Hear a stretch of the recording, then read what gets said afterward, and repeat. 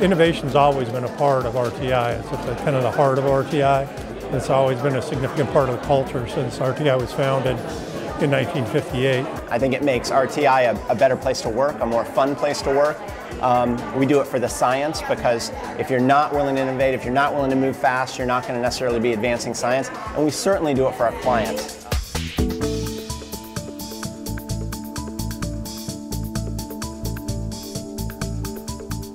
The Innovation Showcase is an opportunity for RTI staff to talk about the projects that they're doing in-house, try to create new ideas, new innovations, creative solutions.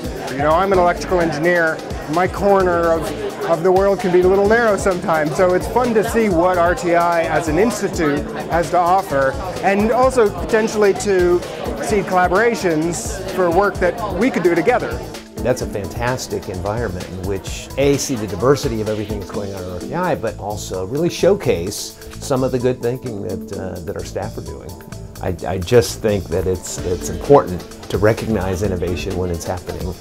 Uh, we also hold these things called ideathons. You know, at the end of the day, RTI succeeds because we pitch great ideas and then we execute really well. Uh, they're two-day events where we invite staff from all over RTI to come in, pitch an idea in two minutes or less that they think is worth pursuing.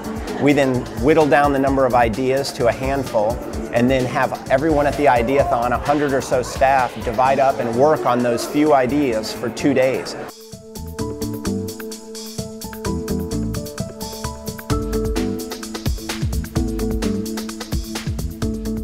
Uh, I pitched an idea about changing the way which we did field data collection and um, made it to the next funding phase. And we developed RTI Mobile Field Surveys, which is a mobile in-person data collection platform for field interviewers. Within six months, it was in the field. And uh, boom, next thing you know, it's in, in dozens of proposals and uh, clients are telling us this is a really unique offering that RTI's brought to our attention. This is a fantastic way, I think, to also illustrate to our staff that their ideas matter and that their ideas form and can transform our business. So I, I find it part of the most exciting thing working here.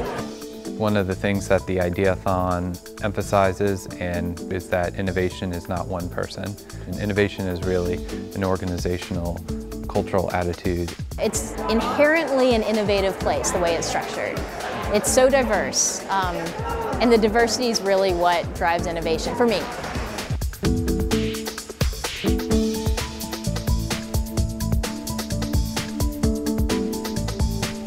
One is, I think it's just fun, you know, to try to do new things.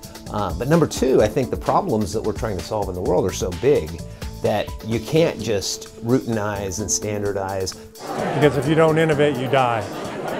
And we're in a business where, you know, we're knowledge workers, we're coming up with solutions. The people who have the most innovative and creative solutions driving forward are the ones who are going to get funded and are going to be able to do the work.